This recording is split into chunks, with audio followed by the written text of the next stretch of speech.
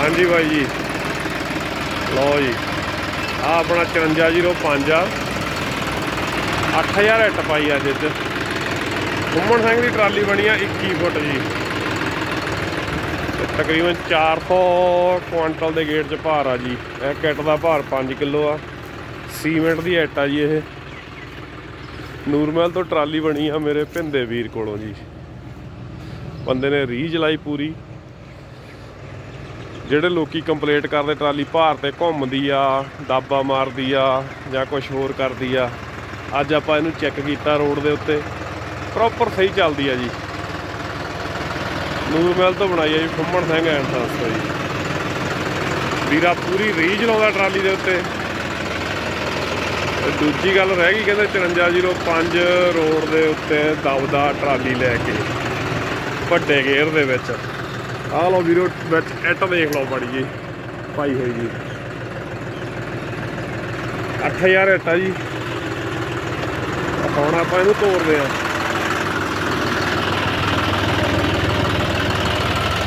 ਆ ਲਓ ਜੀ, ਪੈਰਾਂ ਦਾ ਹਾਲ ਦੇਖ ਲਓ ਜੀ। ਲਓ ਜੀ।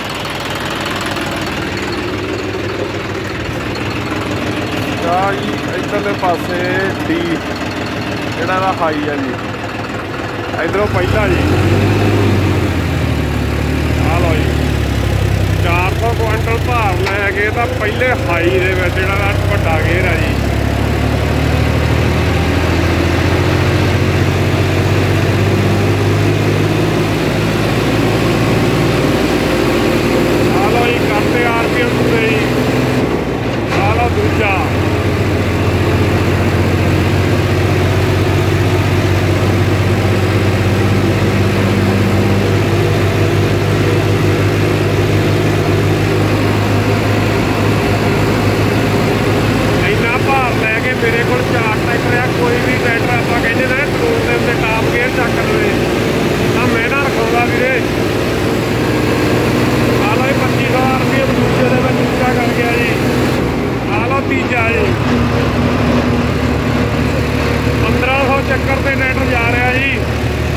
ਕੁਇੰਟਲ ਭਾਰ ਲੈ ਕੇ ਧੂਆਂ ਦੇਖ ਲਓ ਟਰੈਕਟਰ ਦਾ।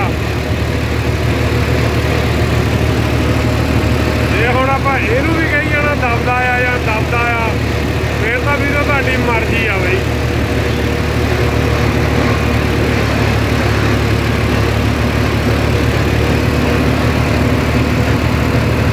ਨੰਬਰ ਗੇਰ ਆ ਜੀ।